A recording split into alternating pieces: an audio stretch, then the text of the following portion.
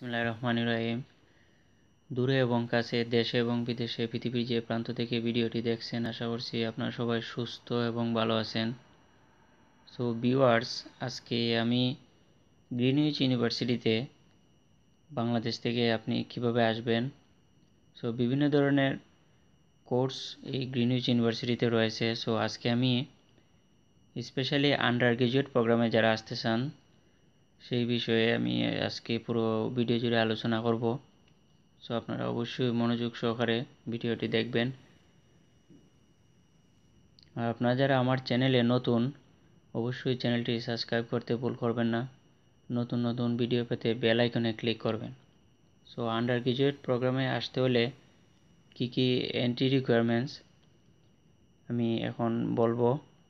এটা হচ্ছে under graduate প্রোগ্রামের জন্য আপনার মিনিমাম এইচএসসি পাস সার্টিফিকেট থাকতে হবে এবং মিনিমাম ফিফটি পার্সেন্ট মার্কস থাকতে হবে এভারেজ এই রিকোয়ারমেন্ট থাকতে হবে। তারপর হচ্ছে ল্যাঙ্গুয়েজ রিকোয়ারমেন্ট ল্যাঙ্গুয়েজ রিকোয়ারমেন্ট হচ্ছে আইএলটিএসে মিনিমাম সিক্স পয়েন্ট থাকতে হবে। আপনি যদি গ্রিনউইচ ইউনিভার্সিটিতে আন্ডার গ্রাজুয়েট ডিগ্রি কোর্সে আসেন, তাহলে মিনিমাম আইএলটিএসে সিক্স পেতে হবে। তারপরে হচ্ছে এখানে পোস্ট গ্রাজুয়েশনেরও আপনি আসতে পারবেন। পোস্ট গ্রাজুয়েশন আপনি যদি মিনিমাম ডিগ্রি কমপ্লিট থাকে বাংলাদেশে, তাহলে মাস্টার্স কোর্সে আসতে পারবেন। তারপরে হচ্ছে স্কলারশিপ অ্যান্ড ফান্ডিং আপনারা যদি ভালো স্টুডেন্ট হন, তাহলে গ্রিনউইচ ইউনিভার্সিটিতে স্কলারশিপের ব্যবস্থা রয়েছে ফান্ডিং ফুল ফান্ডিং ওরা করে। আপনি যদি ওদের যে ক্রাইটেরিয়া রয়েছে, আপনি যদি ওয়েবসাইটে যান, ওই ক্রাইটেরিয়া ফুলফিল করলে ফুললি ফ্রি আপনি স্টাডি করতে পারবেন গ্রিনউইচ ইউনিভার্সিটিতে তারপর হচ্ছে আপনারা যারা নতুন, আমি বেসিক বিষয় বলে দিই, কী কী রিকোয়ারমেন্ট আর আমার ভিডিও এন্ডে আমি আগে স্টুডেন্ট ভিসা নিয়ে একটি ভিডিও করেছি, সেই ভিডিওর লিঙ্ক আমি এই ভিডিওর লাস্টে দিয়ে দিব। সো আপনারা ওই ভিডিও দেখলে পুরোপুরি বুঝতে পারবেন। তারপরেও আপনারা যারা নতুন, আমি বেসিক কিছু আইডিয়া বলে দিচ্ছি। যেরকম পাসপোর্ট ডিজিটাল পাসপোর্ট হতে হবে। তারপরে হচ্ছে, এবং minimum six month requirement minimum six মান্থের validity থাকতে হবে পাসপোর্ট ভ্যালিডিটি তারপরে দুই দুই থেকে তিন কপি পাসপোর্ট সাইজ পিকচার লাগবে। পিকচার অবশ্যই ব্যাকগ্রাউন্ড হোয়াইট হতে হবে। তারপরে ব্যাঙ্ক স্টেটমেন্ট লাগবে।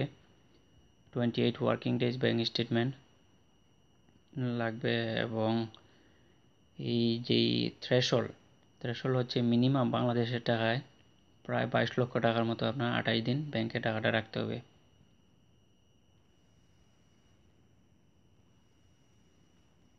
তারপরে হচ্ছে হচ্ছে কন্ট্রাক্ট ডিটেলস আপনারা আরও বিস্তারিত ফার্দার জানতে পারবেন। এই কন্ট্যাক্ট ডিটেলসে যে যান গ্রিনিচ ইউনিভার্সিটি টেলিফোন নাম্বার তারপরে ইমেল অ্যাড্রেস এখানে দেওয়া আছে। তারপরে গ্রিনিচ ইউনিভার্সিটির এজেন্ট আছে বাংলাদেশে। আপনারা আরও বিস্তারিত বুঝতে হলে এজেন্ট ঢাকাতে আছে। আপনারা যদি ঢাকা থাকেন, ঢাকা এজেন্ট অফিসে যেতে পারেন। চিটাঙ্গে আছে সিলেটে আছে। ওখানে যাই আপনারা বিস্তারিত আরও বুঝতে পারবেন। এবং প্রতি বছর ওরা বাংলাদেশে এই গ্রিনিচ ইউনিভার্সিটির লেকচারার বাংলাদেশে যায়। যে ওরা ওই জায়গায় মার্কেটিং করে। ওদের ইউনিভার্সিটি সম্পর্কে। সো আপনারা যদি ওয়েবসাইটে ভালো করে খোঁজখবর রাখেন, তাহলে জানতে পারবেন প্রতি বছরই ওরা বাংলাদেশে যে মার্কেটিং করে। তখন আপনি সরাসরি ইউনিভার্সিটির লেকচারের সাথে কথা বলতে পারবেন। কোন কোর্সে আপনি পারদর্শী, কোন কোর্সে আপনি আসতে চান এই ইউনিভার্সিটিতে ওরা সম্পূর্ণ গাইডলাইন বলে দেবে।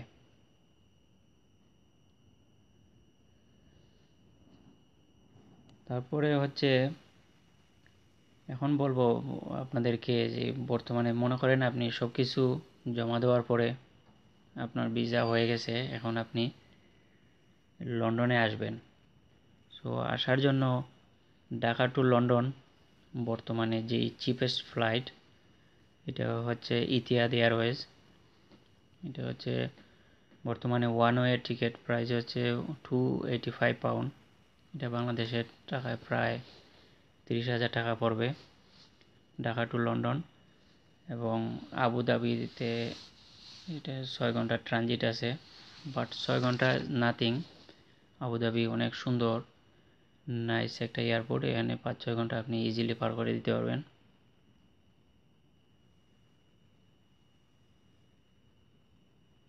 তারপর হচ্ছে আপনারা যারা ভিউয়ার্স আমি দেখলাম যে আমার ভিডিওর মধ্যে প্রায় প্রায় নাইনটি ওয়ান পারসেন্ট আপনারা ভিউয়ার্স আমার চ্যানেল দেখেন বাট সাবস্ক্রাইব করেন না। তো আমি আপনাদেরকে অনুরোধ করব যে আপনারা যারা আমার চ্যানেল দেখেন, অবশ্যই সাবস্ক্রাইব করবেন কমেন্ট করবেন লাইক শেয়ার করবেন, এবং আমাকে সাপোর্ট করবেন। তাহলে আমি আরও আপনাদের জন্য আরও নতুন নতুন ভিডিও উপহার দেব। আরও যদি আপনারা বিস্তারিত বুঝতে চান, আমাকে লাইক কমেন্ট শেয়ার করবেন। সো ভিডিওটি শেষ পর্যন্ত দেখার জন্য আপনাদেরকে অসংখ্য ধন্যবাদ। পরবর্তী ভিডিও দেখার আমন্ত্রণ জানিয়ে আজকের মতো বিদায় নিচ্ছি। সবাই ভালো থাকবেন, সুস্থ থাকবেন। এসকে বি ব্লগের সাথে থাকবেন। আল্লাহ হাফেজ।